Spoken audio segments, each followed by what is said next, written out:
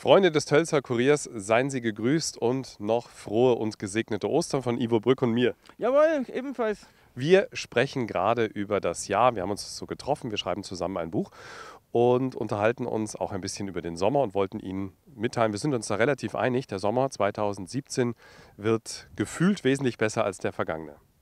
Genau, weil wir dieses Jahr im Hochsommer einfach die besseren Karten haben als im letzten Sommer. Ja, wobei der hinten raus ja nun wirklich noch sonnig und heiß wurde. Also der Kernsommer 2017 wird um den Juli herum stattfinden. Der Juni schwächelt noch ein bisschen.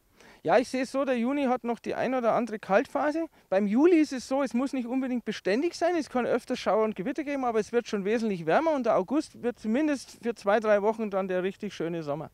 Aber im Gegensatz zum vergangenen Jahr wird der August am Ende raus dann schwächeln und dem wird die Puste ausgehen. Ja, im letzten Monatsdrittel könnte sich anbahnen, dass wir dann auf einen wechselhafteren Frühherbst uns zubewegen.